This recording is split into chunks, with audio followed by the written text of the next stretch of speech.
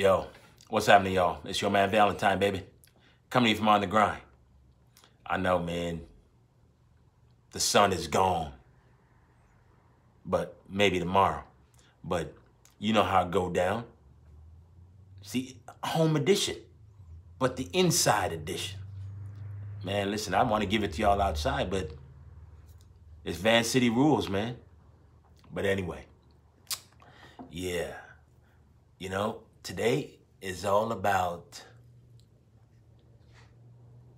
black people getting, black people in the system getting a coaching job or doing anything else in the business world where they can't get a leg up.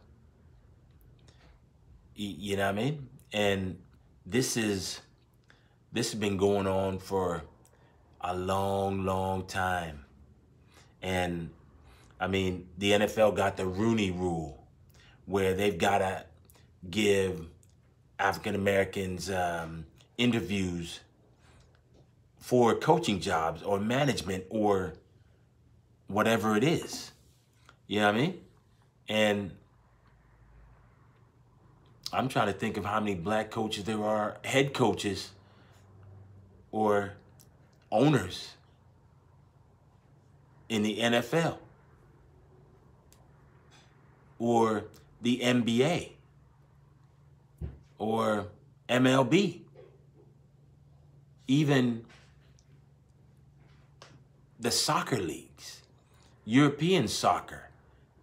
You've got the MSL in, in, in North America. I mean, Thierry Henry in Montreal, MSL. You've got, uh, I think, Michael Jordan, who owns, who's the owner of uh, Charlotte Hornets. And then Mike's going to be an owner in, in NASCAR, right?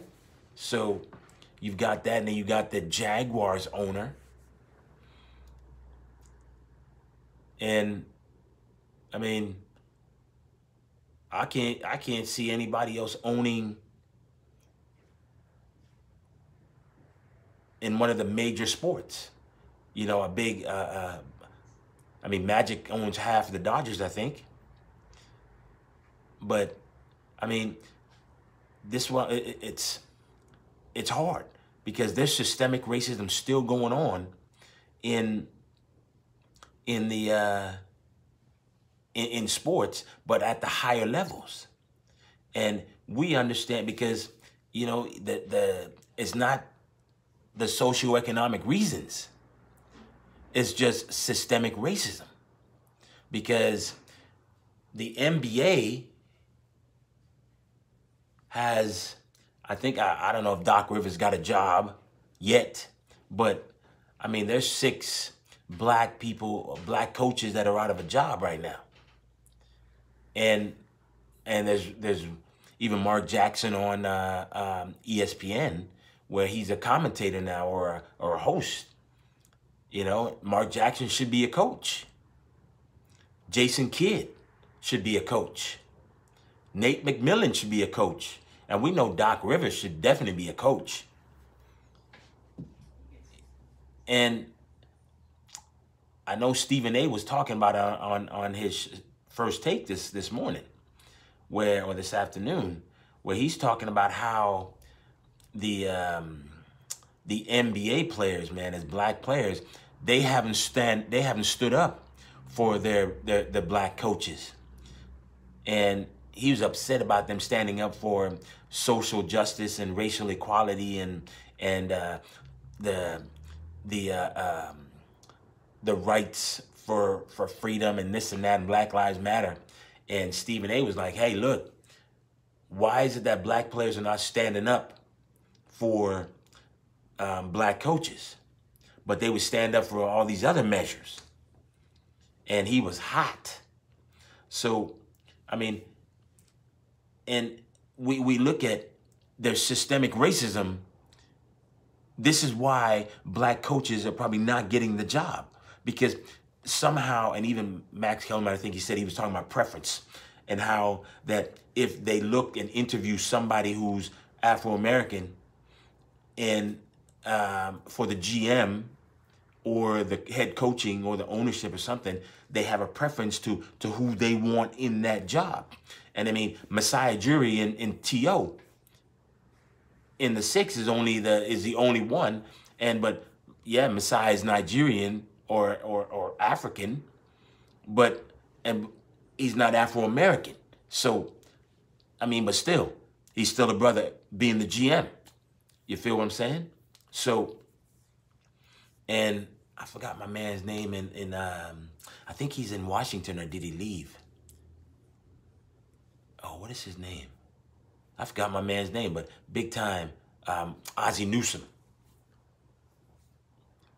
So I think I don't know if he's still there, but he's a GM that's um, that was in I think uh, Washington. I think then now I think he's in Cleveland, and this is how the Browns got turned around because Ozzie did some amazing things, and but the the fact that there are coaches out there that should have a chance at these jobs, and and I know that that we look at I'm gonna look at this one way because Steve Nash is now the coach of, of uh, New Jersey,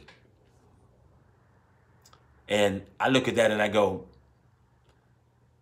how is it that none of the brothers, none of the black people had first dibs on this where they've had more experience than this dude? Steve Nash has never been a coach before. It doesn't matter about his accolades. Mark Jackson's been a coach before. Mark Jackson turned around Golden State Warriors before Steve Kerr got there. Nate McMillan's been a coach in Indiana. Yes, he's been out of the playoffs the last three, four years, whatever it is in the first round. Jason Kidd has been a coach.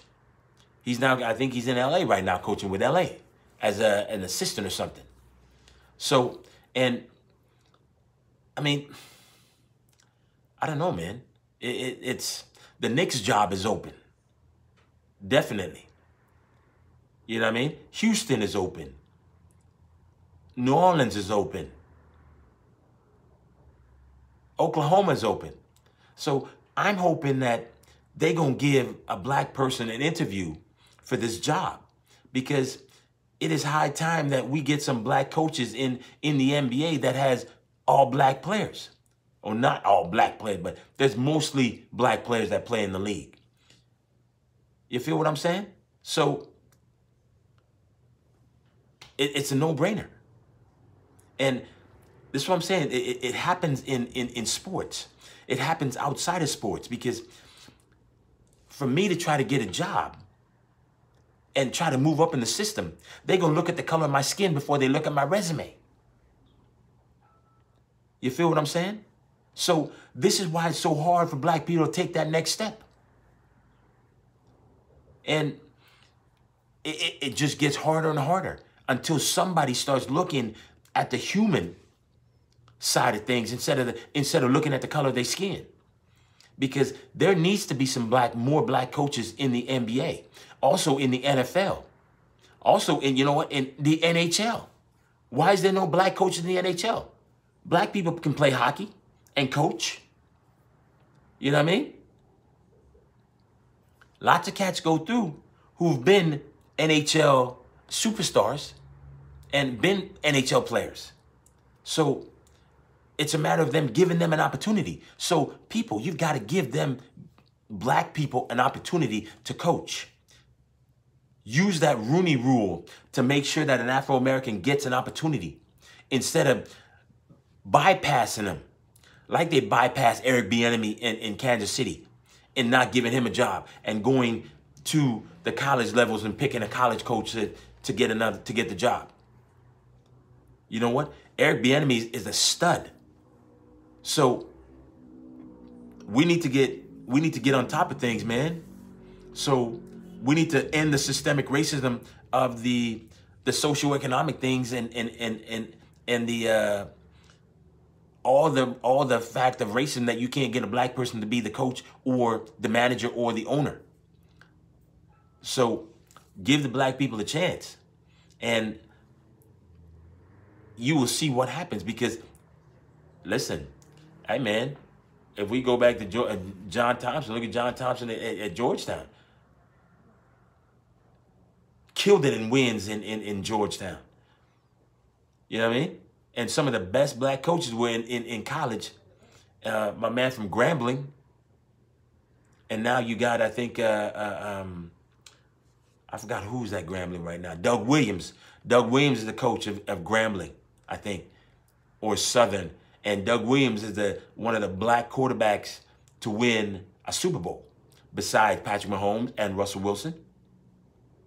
You know what I mean? So there's some smart cats out there, man, and y'all need to give them an opportunity. And I know there's six black people out there that that in the NBA with four or five teams that need a coach. Look at the black folks, look at the Afro American people, and give them an opportunity to make sure that you end the systemic racism that is going on and of not giving black people a chance to become coaches or head coaches or GMs or whatever they want to become. You know what I mean? So if we can end it at that level, we can end it at the lower levels too. Because black people need an opportunity to get jobs and, and move up in the system. So they just need an opportunity. You feel what I'm saying? Yo, remember y'all that we're dealing with this pandemic, man, and we already know that one of Trump's people, you see, it don't matter if you're getting tested, man, one of Trump's people, her name is Hope something. Um, I don't know. I forgot her name. I know it's, her name is Hope, but she's she's his assistant. So she tested positive, even though they get tested all the time. So this is what I'm saying, man. This virus is not a joke. So y'all got to take it seriously. And even though you get tested positive, tested all the time, as this assistant Hope gets tested positive. So we need to make sure that we're staying safe because this pandemic is no joke. And this pandemic does not discriminate. Only the pandemic of racism does. So y'all got to get it together and make sure that you stay safe. And remember, Kamala Harris says it. Racism has no vaccine, but they trying to get one for this virus. So we have to hold on for that. And we will change because that's the only thing that we can do to change racism. To make sure that we do the right things. You know what I mean? And anyway, make sure you wear a mask. Social distance, wash your hands, stay out of the big crowds and make sure you do everything to make sure you keep your family safe and do not be selfish. You feel what I'm saying? So handle your business, people, and stay safe. Wear a mask. Yo, I'm your man Valentine, baby. If you think it's your time to shine, you need to get on the grind with your man Valentine. Remember, Biden Harris 2020, y'all. Get out and vote. Let your vote count.